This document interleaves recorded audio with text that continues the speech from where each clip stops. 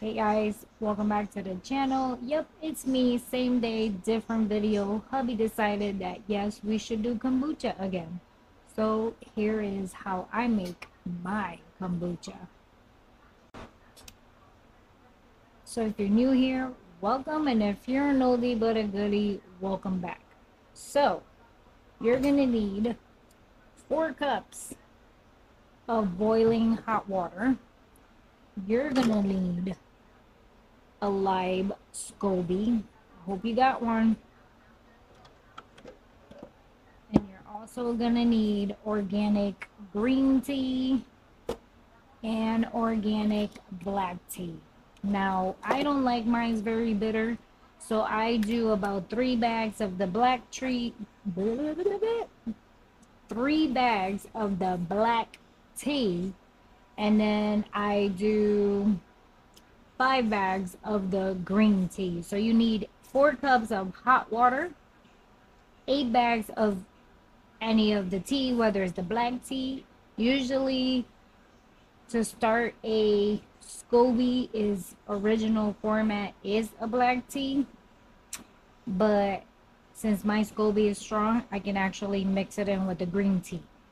From my understanding on this and all the research that I have done, you cannot do the green tea if you don't have a strong SCOBY. So you need a strong SCOBY in order to mix in the green tea. Um, Hummy, I when I first started, I did buy a mother, uh, and then I did a bunch of them with the green tea to get the strong SCOBY. And hubby drank all of those, and then now I can drink it because it's not as hard because I used the green tea. So let's get started, shall we?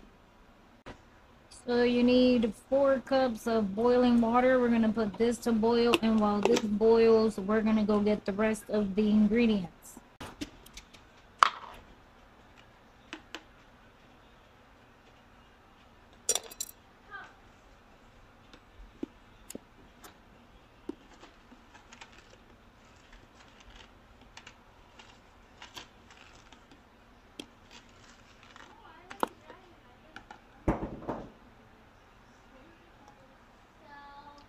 Alright guys, you cannot use brown sugar, you cannot use honey, it has to be white sugar in order to do kombucha. So no cheating, white sugar.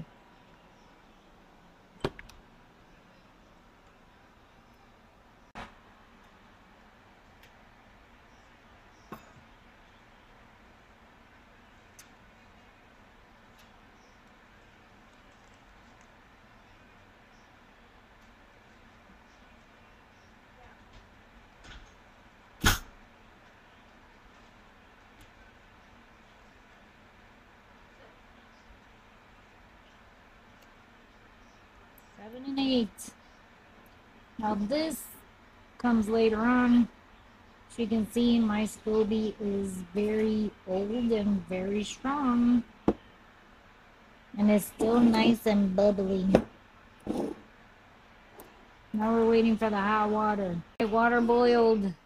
So we're doing the four cups all the way to the top. Then we have to dissolve the sugar.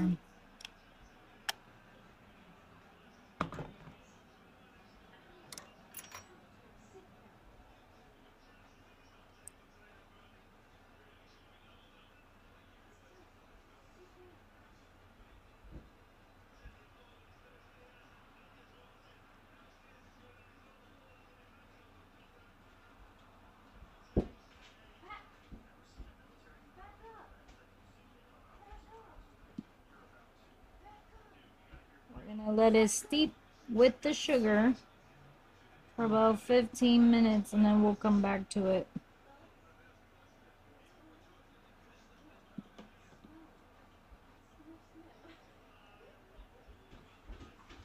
Pretty sure that this is dissolved.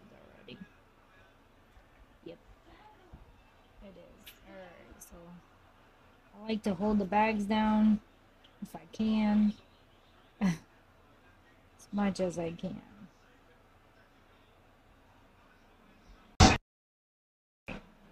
So I usually like using the wide mouth for this, but I did use it for my vanilla extract that I got going on here. Yes, I'm making my own vanilla extract. And I don't have another wine jar. It's in the barn. It's in the barn. so I'm just gonna use this one. It's alright. I can still do it on that one. Um, the only difference is that the SCOBY is gonna be smaller, but it's still the same. It's alright. It's alright, people. It's alright. Alright, so I don't have my little rubber thingies that hold off with the rings. So I'm going to have to go old school, use a coffee filter, a rag, and then I use the ring around it just to do the same concept. Make sure no bugs go around it. Now the most nastiest thing about this job is picking up the booger. I call it a booger. It's the SCOBY people, but I call it the booger. So clearly I have lots of them in here. This thing's gotta be mad bitter because this is the true mumbo jumbo. So I'm just gonna take a SCOBY from here if it ends up coming out, putting it in here. Cause that's what you're supposed to do. I'm gonna use this one as well because it's dark. Smells very vinegary, vinegary. So we're good to go. Don't want to use anything else. Hmm. Maybe if I can find another small piece. I mean, the darker the better. Means it's been there forever. And now because I disrupted it it's actually this is gonna create another SCOBY by the way. That's how it works. So I have plenty of SCOBYs in here. I tend to toss them out. I just make sure they don't have any creepy stuff coming on them or any like fungal things coming out of them which they don't. They look pretty good I'm also gonna put just to get it started a little bit of the liquid. Just so it can begin its process. So now we gotta wait for this to cool down to temperature. And let me hide this because I do have a lot of bugs uh, bugs. I have a lot of fruit flies roaming around due to all the sugar stuff that I got so we're going to let this cool down to room temperature. And then we can pour it into in here. Close it up. Put it in a dark place for seven days.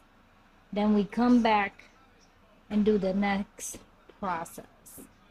Alright guys, now that this is room temperature, I'm going to fill this one up to the top with the one cup sugar and the eight bags of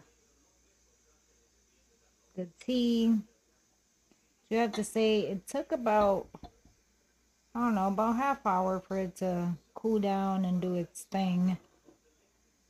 So now we're just gonna fill this up to the top. Not without the green bag.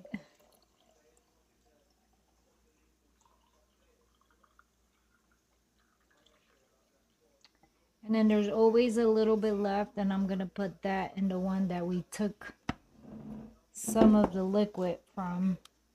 And then now we just cover it up, put it in a dark place for a week.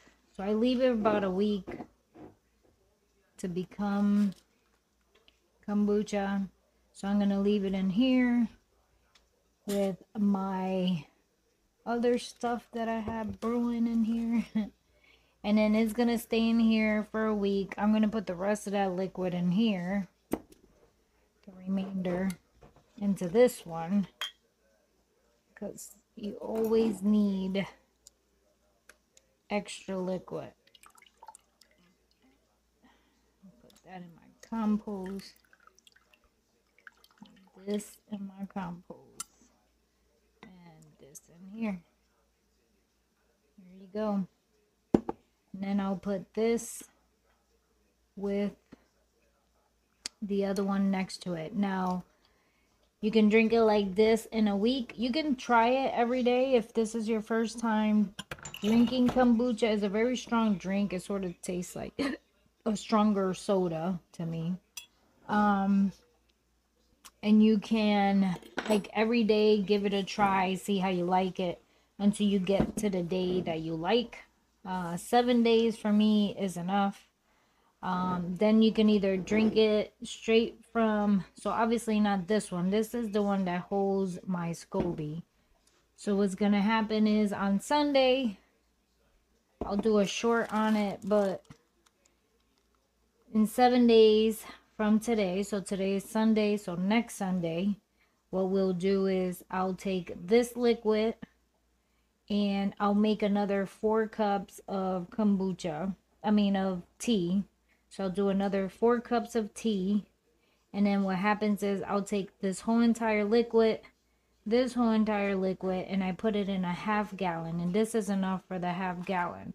And then that one, if you want to put any um, flavoring, you can put actually fresh fruit.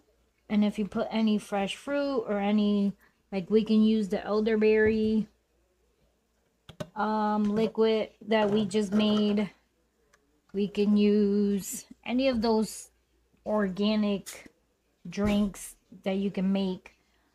Um, you can pour a little bit into the half gallon and then the rest is the kombucha. So that's what gives it the flavor of it. So Sunday, I'll do a short because we did have some extra of the strawberry elderberry. So I'm going to use half of the leftover of that and then the kombucha and it'll give it the strawberry elderly flavor so look for the short on that one but all right guys that was it for the kombucha. I hope you enjoyed. I think i have other videos in somewhere in my playlist where you can go back and review my older videos on how to make kombucha. Not there is a load of videos out there that all you gotta do is how to make kombucha and there's plenty of people out there teaching it. So thank you for watching. God bless. Don't forget to subscribe. Give it a thumbs up and i will see you guys on the short on sunday.